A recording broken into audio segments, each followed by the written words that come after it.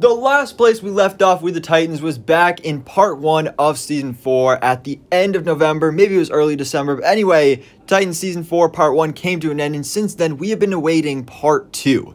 And the last thing we heard about the show was that it's canceled, which of course is super sad, it's disappointing, but also the writing was on the walls. We kind of saw it coming. It was no surprise at all. The same fate is here for Doom Patrol season four as well. Uh, but like I said, the last thing we heard about the show was, oh, it's canceled. And since then, we have gone months hearing absolutely nothing about this show. When is coming back? We don't know until now because the official social media accounts for DC Titans just released this official poster for the final episodes. So the final episodes are going to be streaming on April 13th only on HBO Max. So we finally have a release date right there. It was rumored it was probably going to be April, so now we have the official date. That's exciting. You know, mark it on your calendars, all that stuff.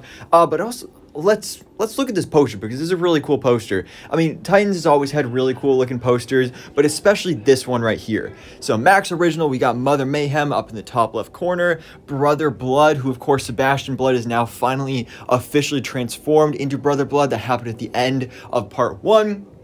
So he's now taken on the main villain role of the season. We have, of course, Brenton Thwaites as Nightwing. He looks great as always. We got our Starfire. I'll come back to Robin in a second, but we got, of course, uh, our little uh, mini Lex Luthor here with Connor Kent Superboy. Now he's uh, Connor Luthor or whatever they ended up calling him. Uh, that was a big twist that I did not expect coming at the end of part one. Beast Boy, we got Gar in his new suit. Raven looks amazing in her white Raven suit. Uh, Rachel looks great there, but. The big thing on this poster, this gives us our first official look at Jay Lycurgo. Of course, he plays Tim Drake in this series, as Robin. He was introduced to the show last season, and you know, it's been the build up here. Last season, he joined the Titans. This season, at the beginning, he got his bow staff. He's been training to join the Titans, and now, as we can see, he is finally going to become officially the new Robin. And we have, uh, of course, there's a new trailer out as well, so I'll do a separate video breaking down that trailer later today, so stay tuned for that. But we just gotta talk about this Robin suit because man, this thing looks beautiful. We have this official promo image right here.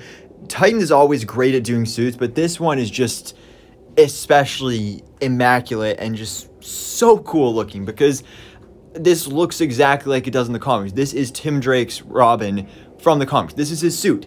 It looks beautiful. It looks great. I love the, the metallic shiny armor with, of course, the classic Robin logo going on right there. You have, of course, the, uh, the utility belt uh, the, the colors uh, that's the thing i love the i think the most about this is the colors because that's something you see a lot of time when superhero and comic book characters are adapted to live action is they'll heavily mute down the colors.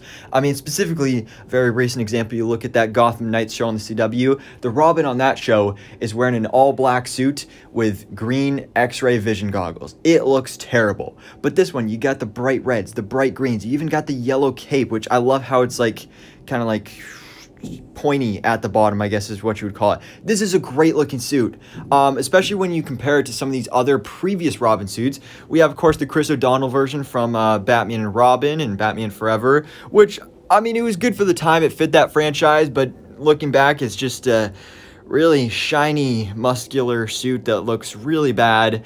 Um, and then we have, of course, going back to Titan specifically, when Brenton Thwaites at the beginning of the show, before he became Nightwing, when he was Robin, that at, up to this point was the best live action Robin suit. Uh, but I think this one beats it out just because the original Robin suit was much more darker and again toned down, but this one it really embraces those brighter comics accurate colors. So I absolutely love that.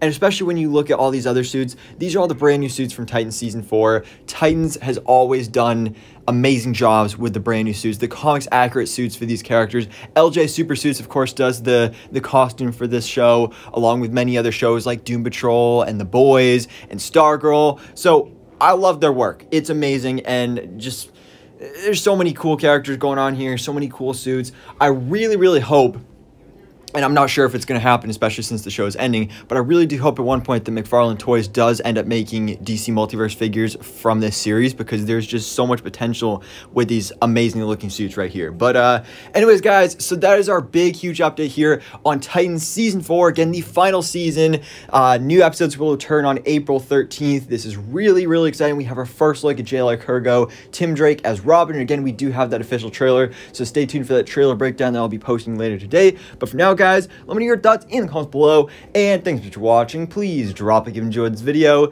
and hit the subscribe button so I keep you to date on everything goes on in the DC life.